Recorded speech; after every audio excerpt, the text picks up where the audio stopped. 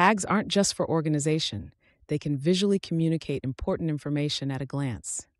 Highlight your tags by adding colors and emojis, making it easy to spot urgent topics without opening the conversation. Let's review how to add visual cues to tags. When creating a new tag, you can choose a highlight color or emoji as part of the tag setup. Click the tag icon at the top of a conversation and then the plus button to create a new tag.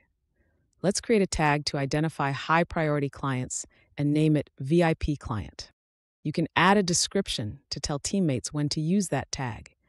Then select the access. Is this a private tag visible only to you, a workspace tag visible only to members of a particular workspace, or a company tag visible to all workspaces? Now you'll select your highlight or emoji.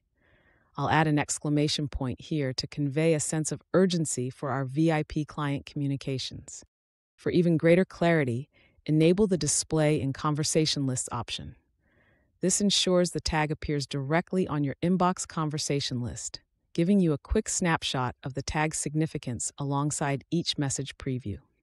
Applying colors and emojis to your tags isn't just decorative, it's a productivity booster. These visual indicators help your team immediately recognize critical conversations, like urgent requests or high priority topics, as well as reduce the need to dive into every message by giving context up front.